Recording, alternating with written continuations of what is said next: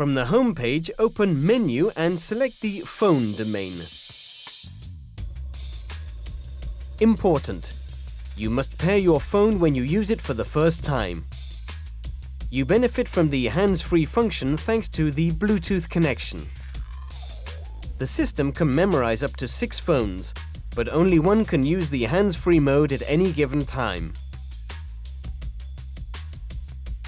The List of Devices function allows you to switch to one of the phones memorized. You will find the standard functions such as phone book, call logs, dial number, voicemail, and settings. R-Link 2 allows you to display SMS messages or read them using the voice synthesizer.